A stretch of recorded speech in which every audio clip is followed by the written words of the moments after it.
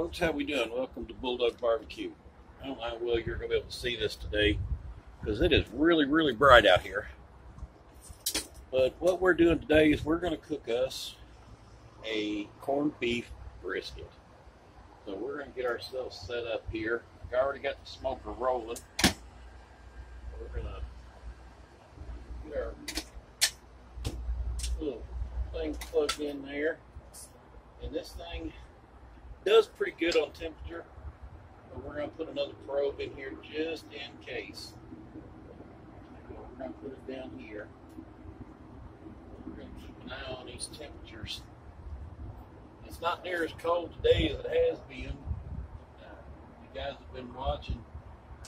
You know, I cooked a brisket on Thanksgiving and it was 14 degrees outside, so I actually got down to 12 that night. So we got the smoker going. It says it's at 125 now. We're going to turn it up here to 250 here in just a minute. But for now, we need to go in and get this. Uh, it's basically a brisket, but it's a corned beef brisket. So we're going to go ahead and get it in and get it started. All right? All right, here we go. Here's what we've got. I'm going to use that as a static water pan for a little bit. I've got water in there already, but this is what we've got. Was just bought at Kroger's. This is a corned beef brisket. It is, I don't have cheaters anymore, they broke. We're looking at 3.37 pounds. It looks like it was $6.99 a pound. A little pricier than what I buy, but as of course we know that Mr. Contractor Josh bought this. Uh, and if you guys are needing any work done around your house, uh, any kind of construction done, hey, Josh is the guy to call. Uh, you can look him up on uh, Facebook. It's Josh Steiner. I will put a link to his page down in the description so you guys can find him. All right, let's, uh, we're just going to take a little knife here.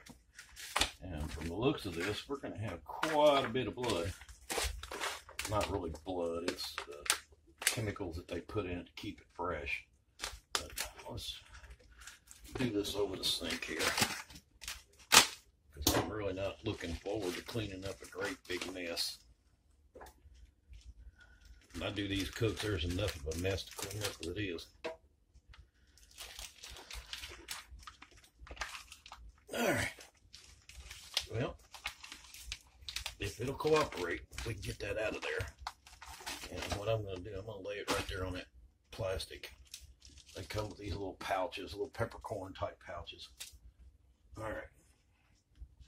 I'm going to rinse it off, but then I'm going to bring it back over here set it on this paper towel because I want to get rid of all that juicy, that slimy stuff that's on it. Like I said, they put it on it to preserve it. I just don't like it. Basically, all this is is a brisket flat. If you've ever cooked briskets, you know you get two pieces of meat actually and two different muscles. There's the flat and then there's the point. This is the flat part of it. Let me get you down here so you can see what I'm talking about. This is the bottom part. And then you'll have a chunk that sits up here. It's called the point. It's what you make your burnt ends out of. All right, what they do with these is I would say that they pretty much soak these things in salt forever because they are salty as all get out if you've ever had corned beef. All right, what we're going to do is we're going to cook it for a couple hours, maybe three. It's only three, a little over three pounds, so I don't think we'll have to cook it that long. But what we're going to do is we're going to cook it like this so that it will get some smoke. And then we're going to put a pan, put it in a pan, fill it about halfway up with water, and braise it for the rest of the time that's in there. So it will just tender it to all get out. And it'll be about 198 degrees when it's done. Uh, I'm running anywhere between 130 to 150 before I put it in the pan. But we'll see when we get there what happens. All right, what I'm going to put on this, we're going to put, not put any salt on this. Don't put any salt on it. I got plenty of salt. We want some pepper. I'm going to put garlic on it. Uh, probably a little onion powder, uh, garlic onion powder. That's probably going to be about it. I don't think it really needs anything else because it is already flavored. It's already got the salt. It's already been cured. It's ready to go. I just want to add a, another couple little flavors to it. Okay, so let me grab those real quick. I'm gonna put me a little onion powder on here. And a little garlic powder. And as you can see, I'm not going crazy with it.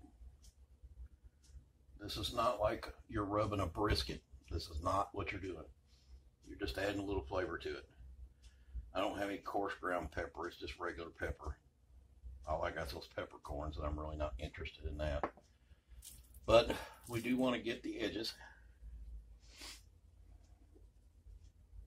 And like I said, I'm just going lightly. I'm not going anything major. And this is the first one of these we've ever done. So, I mean, we've cooked the tar out of briskets, and everybody knows that my briskets don't last long around here. there we go. Yep, a little so we'll just smear it out there. Just a little pepper. And like I said, we're good after all the edges. Another big old side here. I have to wipe all my containers off now since I'm getting all this crap all over them.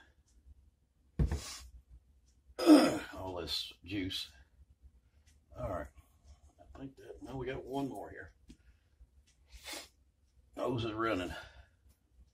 Just a little more there. Yep. See what we do? We just smear it in. Not try not to make too much of a mess. That's what I'm trying to do. All right.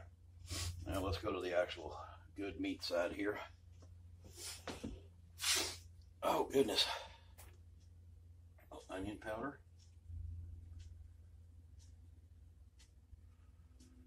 All right, should do that. A little garlic. You don't need anything like a binder or anything on it. These things have been cured, so they're already pretty sticky. So everything will stick to these pretty easily. Let's get some pepper on here. And I believe that's it. We're going to take and put her back in this pan to carry it out to the grill. And I am going to put this on, I believe meat side down, but I am going to watch it pretty close. I don't, it's in a vertical smoker and you got to watch these vertical smokers, guys. They will burn from underneath if you don't watch them. That's what I use the extra pan water, water pan, pan of water for. It actually keeps it from having that direct heat directly on the meat. We'll get that filled up and then we'll head out there and get a probe in her and see how long it takes. It's like our briskets, we may be shocked, but we'll find out. So here we go.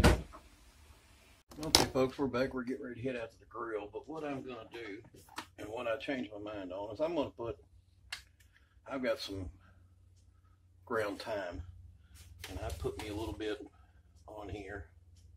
Said you don't need to go real heavy on any of this, but I've got my sides and stuff done.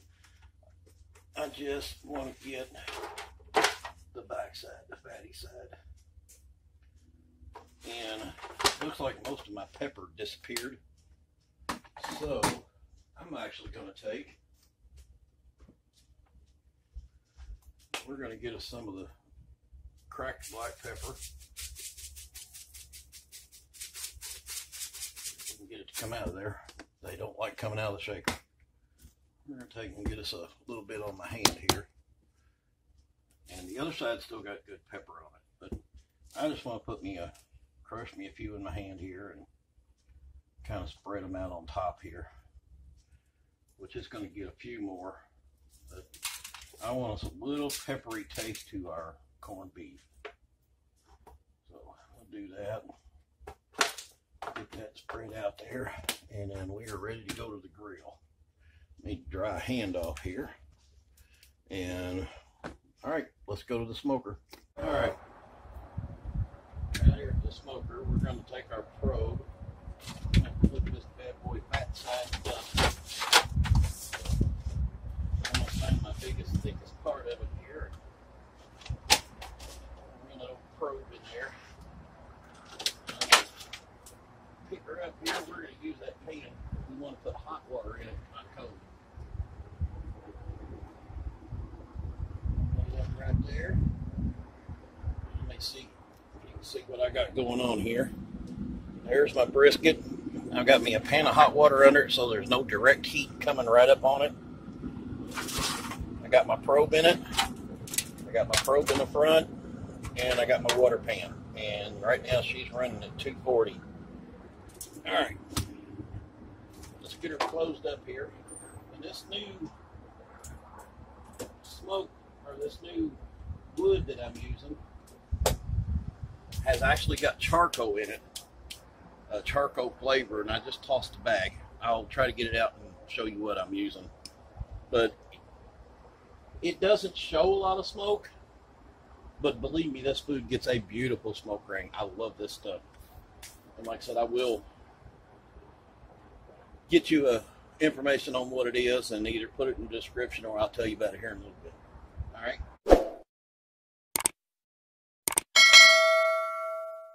So we got her going. Uh, we'll go ahead and check see what time it is. We're going to set up our uh, probe. Like I said, I want to. I don't want to get over 150. Uh, actually, in the smoke, the rest will be braising it. So let's get our we'll get our probe set up. Get uh, this back in. This is going to be. I'm going to put hot water in here.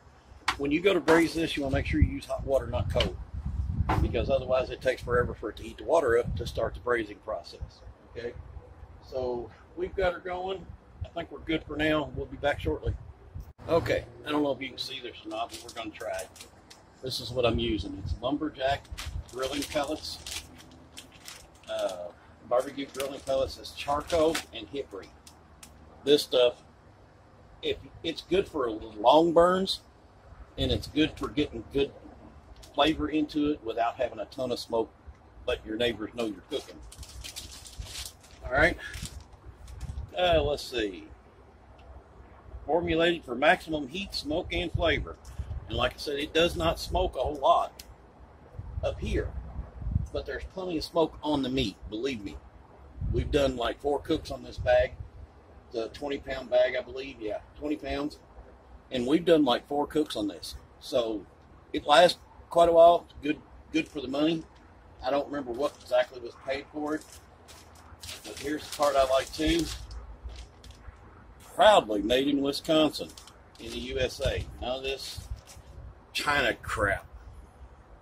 So that's a different show.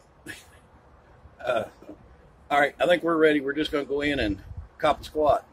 We'll be back.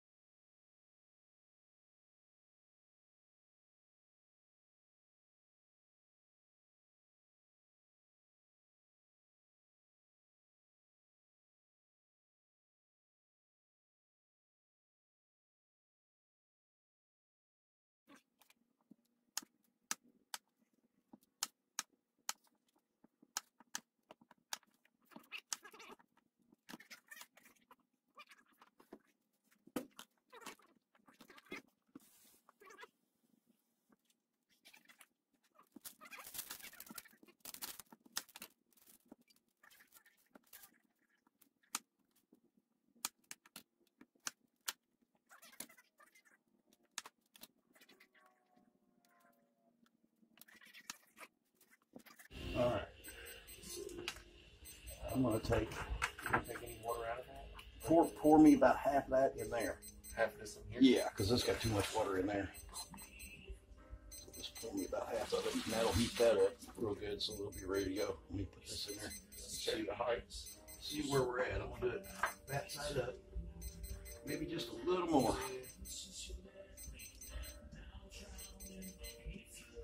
Alright. I'm gonna take and pour this off. I'm gonna dump this up here. These paints can all be reused. Yeah. Gotcha. Alright. Spread the potatoes out. Which will raise our water level too, so.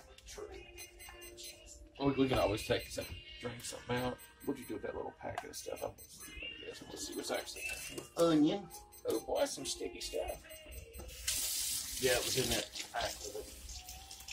Yep, I'd like this to stick to the top of that fat. Carrots.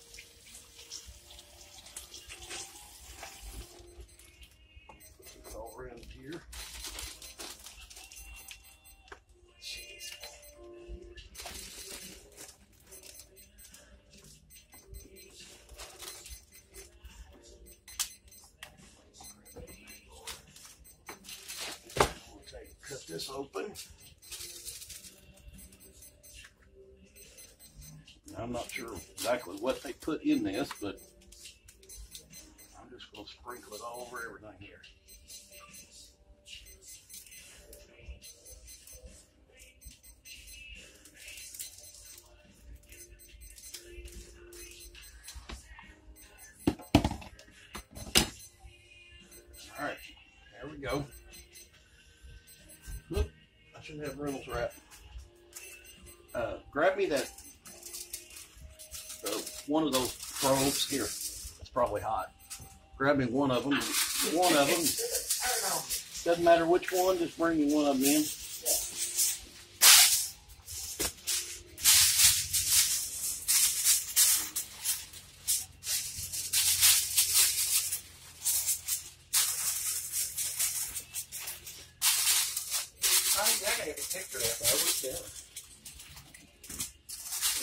Oh, you're be getting your butt I'm here. good, brother. I'm still working, man. Sorry. I always working. That feed end's actually pretty tender already. Right there. That thing went right in. That's a picture of me, bud. I ain't, I ain't nothing nothing. Put that to my phone. And then I'm seal her up real good and ready to go back in.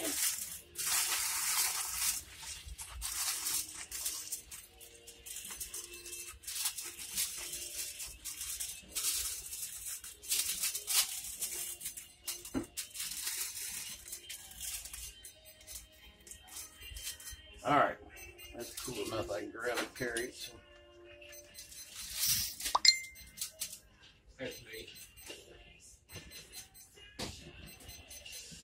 Also, gonna fry some cabbage.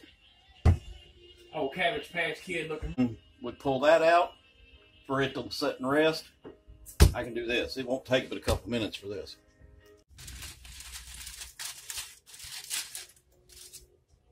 Oh boy. Where's your thermometer? Oh, I don't know. It's, I just set it down. I, got- dude, I can't think of three things at once. Let alone two. See, I do that for my brain.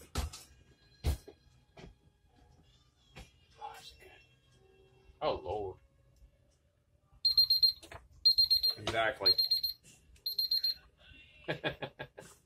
nope, hang on. I was wrong. The- oh, damn. See that water content went all the way up? Mm-hmm. 202. Yeah, Looks like the rest of it's done too. Yeah, just let it rest and it'll get I don't know what we did with our Tongues? tongues. I, I did something with them, Jim. Are they still outside? No.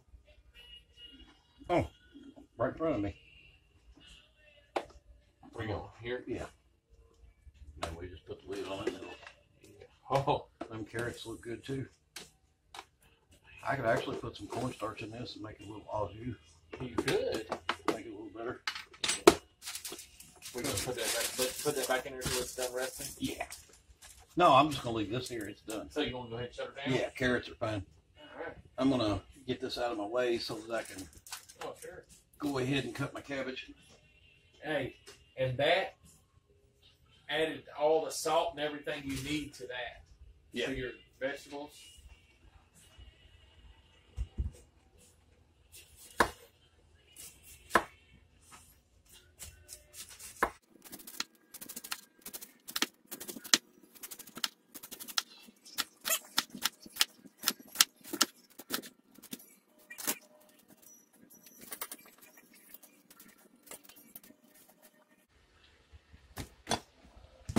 Yeah, boys, you get good up in here. Did you just fill that whole thing up with that?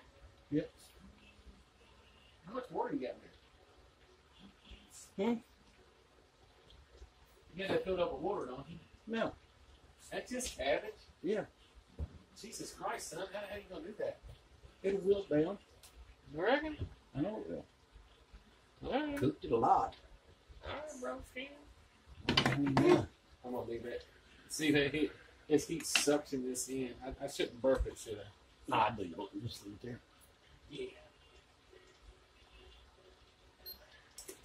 There's some red chili flakes in it. I have brought my beard down. I don't know why I didn't. Oh, you got two in there for the other night. Oh, that's, that don't count. That's nothing real.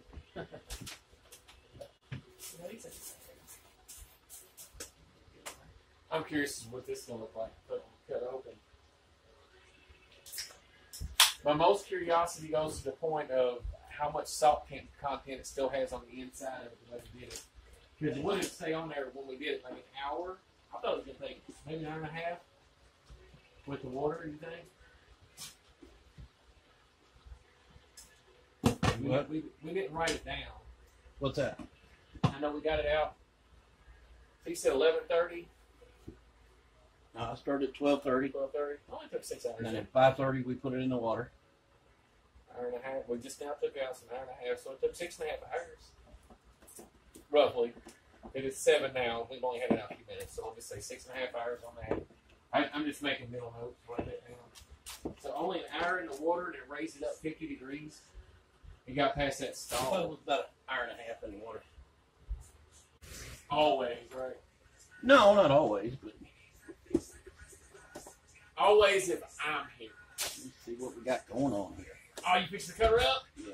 yeah, boy, I'm excited, Jimbo. See if we can see which way the grain on this goes. I just gotta cut it diagonally. Literally, if you cut it like this or that, either way. Oh Lord, that's it, buddy. What a fork or anything do with names or pull off enough. Once you get past that fat cap on that, it's gonna be delicious.